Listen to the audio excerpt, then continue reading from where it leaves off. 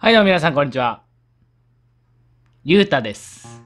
目の前に見えるのはね、日本カナヘビという日本全国に分布している日本の在来種のトカゲちゃんになります。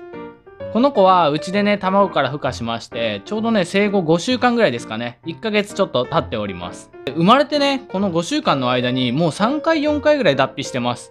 僕の飼育している環境がね、ちょっとあんまり良くないせいで、まああの、草みたいなものが入ってないせいでですね、脱皮がね、たまにうまくいかないような感じになってる時があるんですよ。これね、尻尾なんですけど、えっ、とね、この辺ぐらいかな。この辺ぐらいからね、こう一番最後の場所まで。多分ね、これうまく脱皮が今ね、できてない状態なんですよ。で、昨日も割とね、霧吹きしてあげたんですけど、まだできてなさそうなんで、まあもしかしたらね、これ脱皮できてて、まあたまたまこういう見た目してるだけなのかもしれないんですけど、ちょっと今日はね、あの、脱皮のお手伝いをしていこうと思います。カナヘビって脱皮するとき、水分をね、だいぶ体に染み込ませた後に、いろんなものにね、こすりつけてね、脱皮をするんですよ。でまあ自分でね、手足とかはね、やってるっぽいんですけど、どうもね、尻尾がうまくいかないときは結構僕の飼育環境では結構あるんで、今日はね、お湯につけてお風呂にね、入れたいと思います。はい、そして用意したのはこちら、湯船でございます。これはね、100均のガラスの容器にお湯を張っております。ちょうど人肌ぐらいかな、今。多分ね、37度、38度ぐらいかな。ちょっとあったかいかもしんないけど、行きましょうか。はい、連れてきました。かわいいなまだちっちゃいんすよね。尻尾ね、やっぱこの辺から下はやっぱりちょっとなんか脱皮がうまくいってないような感じがするんですよ。あんまり触るとね、切れちゃいそうなんですけど。なんでちょっとね、今日はお湯に。この子ね、なかなか死んだふりしないんですよ。人間に慣れちゃってんのかな。はい、じゃあ行きますよ。尻尾をね、特にね、つけてあげましょう。死んだふりすんのかな、これ。どうなんだろうか。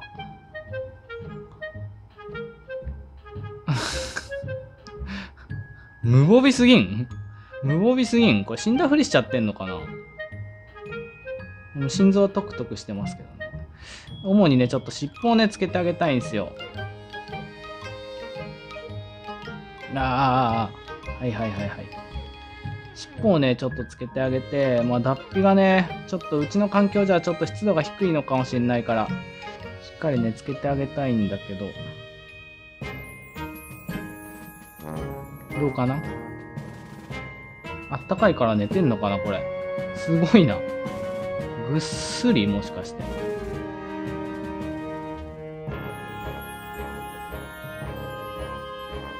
ちょっとびっくりしちゃったのか、死んだふりしてくれちゃってますね。暑いかな？いや、暑くはないと思うんですけどね。ちょっとびっくりしちゃったのかな？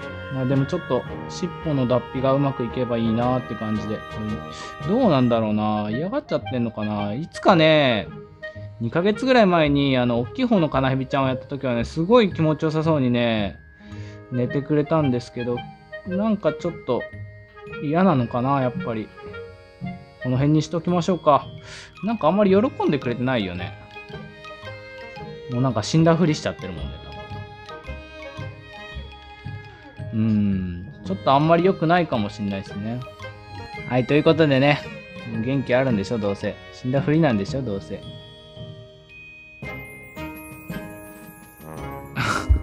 あくそ。水槽に戻したらピクピクしやがって、死んだふりしてましたね、ずっとね。でもね、きっとあったかかったと思うんで気持ちよかったとは思うんですよ。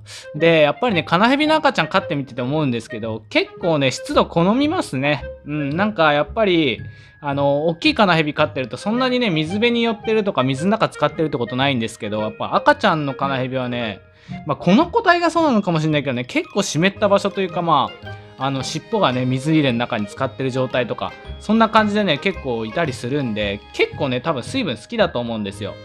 まあちょっとね、うちはね、あの、ピンセットで餌とかをやってないんで、あんまりね、人に慣れて懐いてくれてないんで、まあ今みたいにね、完全に死んだふりとかされちゃって、なんか、なんか悪い気持ちになっちゃうんですけど、いろいろ見てるとね、やっぱり脱皮するときに結構水分いりますよみたいな話結構多いんで、もしね、脱皮不全とかになっちゃうと、もうあれなんで、まあ尻尾はね、結構ね、なるんですけど、あの、指先とかね、結構なってると壊死しちゃったりもするみたいなんで、カナヘビは。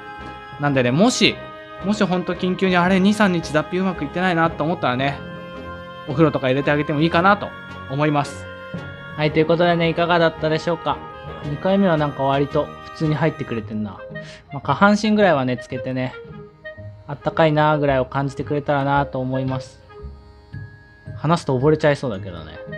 今日はカナヘビちゃんのお風呂でございました。まあ赤ちゃんなんでね、ちょっといろいろわからないことも僕多いんですけど、まあ一生懸命ね、育てようと思います。で、うち2匹いて、この赤ちゃんが。もう1匹はね、割と大きいんですよ。食べる量も多いし、結構ね、体つきも一回りぐらい大きいんで、同じ日にね、生まれてるはずなんですけど、この子はね、なんかちょっとあんまり強くないっていうか、まあ僕の飼育のね、仕方の問題もあるかもしんないからね、なんとも言えないんですけどね。こんな感じでね、いつもお世話しておりますと。いうことで、えっ、ー、とね、いつもはハムスターとかね、カブトムシの動画もたくさん上げておりますので、もしよかったらね、えっ、ー、と、チャンネル登録の方もよろしくお願いします。もし参考になったよっていう方いらっしゃいましたら、高評価の方もぜひよろしくお願いします。ん死んだふりしてんのかな寝てんのかなわかんないんだよね。半分半分ぐらいなんでしょうね、これ多分ね。はい、じゃあご視聴ありがとうございました。それではまた次の動画でお会いしましょう。バイバーイ。バイバーイ。